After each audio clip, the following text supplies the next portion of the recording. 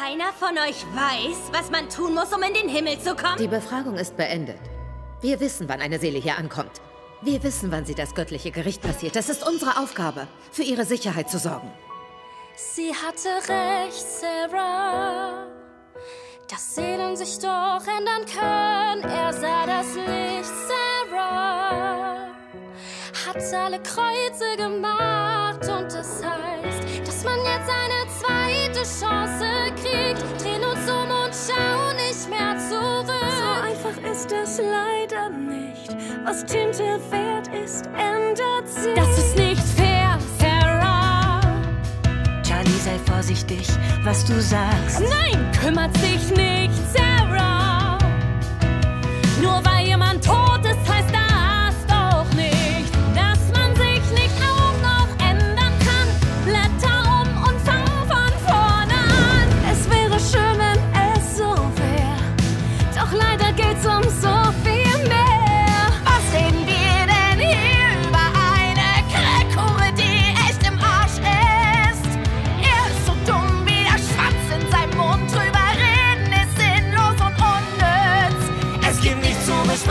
Besprechen über jemand so schlechte.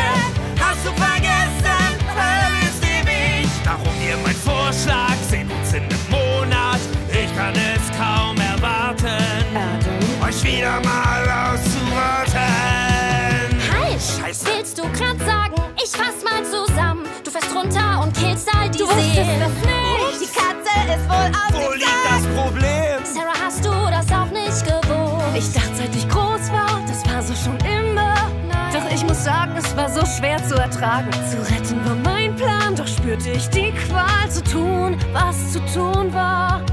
Und ich hab dich bewundert, doch jetzt lass mich bitte bloß in Ruhe. Ich bin kein Kind, ich brauch keinen Schutz. Deine ganze Tugend, nur Getue, war so naiv zu glauben, dass man hier Anstand und Moral lebt und mag. Hab ich verdammt doch gesagt. Ist der Himmel Betrug. Emily. Und Engel bleiben da oben, ganz egal was sie tun. Die Regeln sind nichts wert, wenn man sie nicht wirklich ehrt. Und die Elende nur quält, um sie dann doch noch zu killen. Hab gelernt, Engel nicht zu glauben. Von ihr. Hätt's wissen können. Lass uns gehen. Nein, siehst du's nicht? Wir sind so nah dran greifen sich doch gleich gegenseitig an.